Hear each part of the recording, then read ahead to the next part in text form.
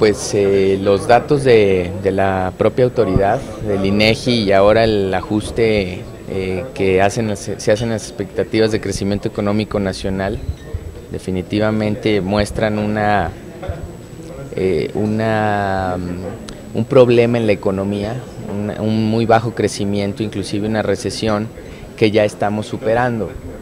este crecimiento que se espera de 2.7 eh, pues ya es una mejoría del pasado que fue de 1.7, pero realmente un tanto insuficiente para las expectativas, sobre todo de empleo de los jóvenes. Eh, aquí el que no crezcamos económicamente, una de, una de las cosas en las que se traduce es que no se generen empleos y pues los jóvenes siguen saliendo de las universidades.